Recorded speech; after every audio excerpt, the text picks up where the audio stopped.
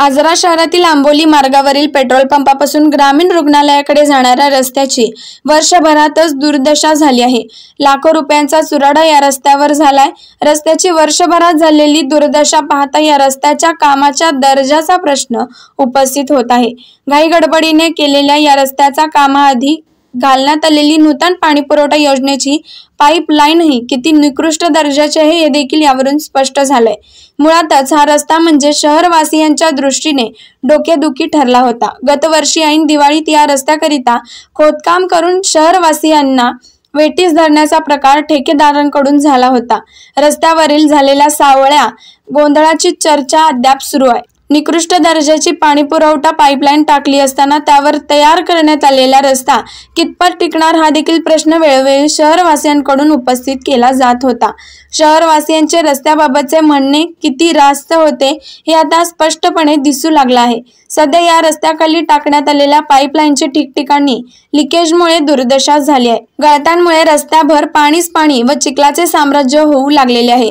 या रस्ता प्रकरणी शिवसेनेचे शहरातील कार्यकर्ते आक्रमक झाले असून या संपूर्ण प्रकरणाची चौकशी जिल्हाधिकाऱ्यांमार्फत लावण्यात येणार असल्याची माहितीही त्यांनी दिली आहे.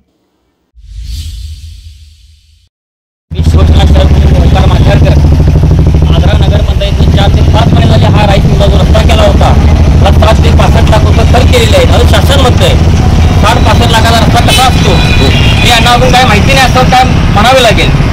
साठ पासष्ट लाखाच्या रस्त्याची ही दुर्दशा आज चार ते पाच महिने रस्ता तिथे झालेला आहे. पण या रस्त्याला पूर्ण खड्डे पडलेले आहेत आणि पूर्णपणे पाईप पाईप पाईप फुटले पाईप लाईन नवीन केली होती. पाईप लाईन फुटलेली आहे. मग या संदर्भात तुम्ही काय करणार आहे? त्या संदर्भात आम्ही पूर्ण आमच्या जिल्हा प्रमुख विजय देवले साहेब यांच्याकडे या रस्त्याबद्दलचा पूर्ण अहवाल पाठवून. जिल्हाधिकाऱ्यांच्याकडे आम्ही चौकशी करणार. हा. आणि पुढे? आणि जे कोण कॉन्ट्रॅक्टर आहेत जे हा रस्ता कोण जो केलेला आहे पाईपलाईन जे केलेलं आहे त्यांच्यावर गुन्हा नोंदवावा. आपली चुकीची कामं चुकीची कामं अशी करू नये. कुठल्याही नगरसेवकाचं काम आहे कुठल्याही प्रशासनाचं याच्यामध्ये काही कुठलंही लक्ष नाही. फक्त हे चूक पोलीस लावायचं काम ह्या फक्त प्रशासनानं आणि या नगरपंचायतनं केलेलं आहे. त्याचा अहवाल आम्ही जिल्हा प्रमुखांच्याकडे आमच्या देऊन जिल्हाधिकाऱ्यांच्याकडून आणि चौकशी केल्याच्या आम्ही शांत बसणार नाही. Bureau report S B N Marathi.